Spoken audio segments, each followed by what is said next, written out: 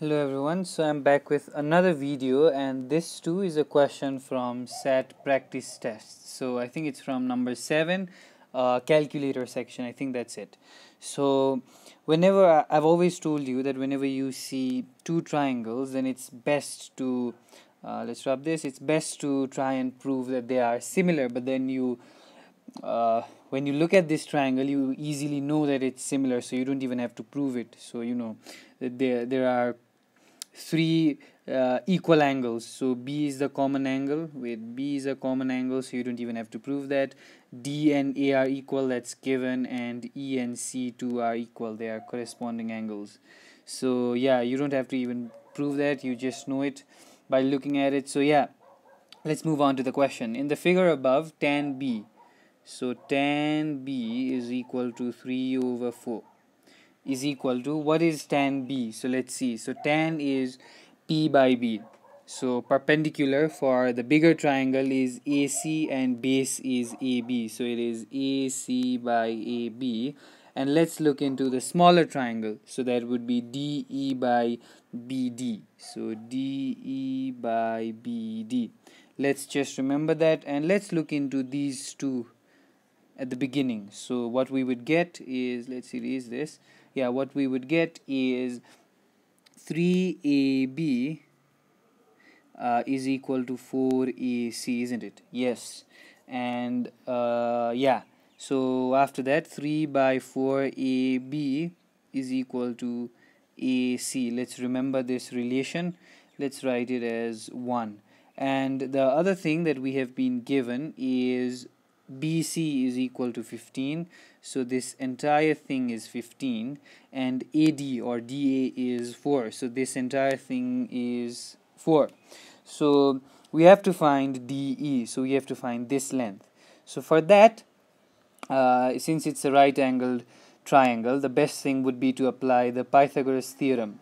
So for that we need the length of this this in order to find DE so we do not have the length of BE, we do not have the length of BD, so that's a problem.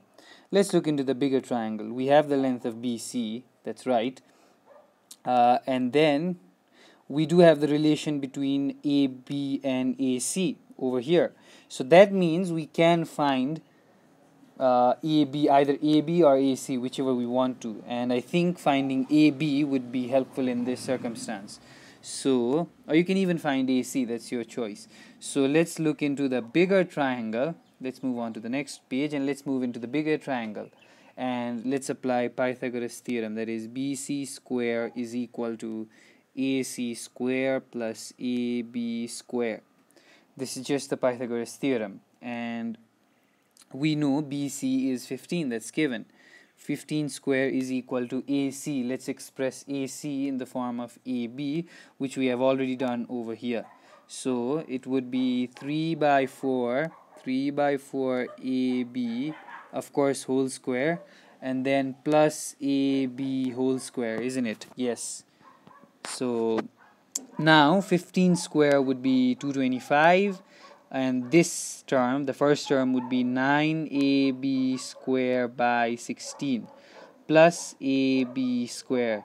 Let's take the LCM so 225 is equal to uh, uh, let's directly add them up. So it would be 25 ab square over 16 so 16 multiplies 225 that would get us uh, 3600 3600 is equal to 25ab square. Let's move on to the next page. Mm, and then when 25 divides 3600 ab square is equal to 144 and therefore AB is equal to plus minus 12 but then since it is length it will always be positive so plus 12 you don't even have to write the plus so that's understood. So 12 so this is important.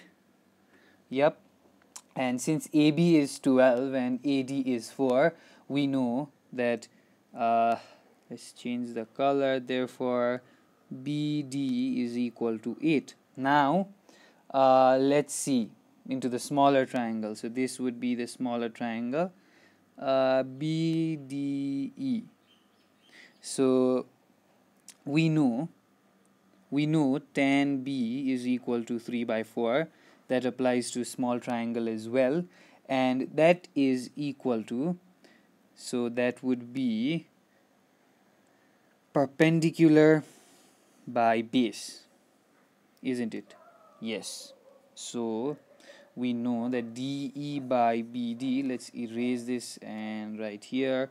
So DE by B by BD is equal to 3 by 4 we need to find DE so therefore DE is equal to 3BD by 4 is equal to BD is 8 so 3 times 4, 8 is 24 24 divided by 4 is equal to 6 so there you go DE the length of DE is 6 we don't know the uh, exact unit maybe centimeters maybe meters but then you know let's leave it as as 6 so yes the length of DE is 6 and that's the final solution to this question.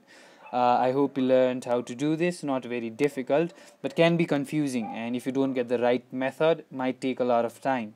So I hope you learned how to do this and hope to see you in my next videos. Thank you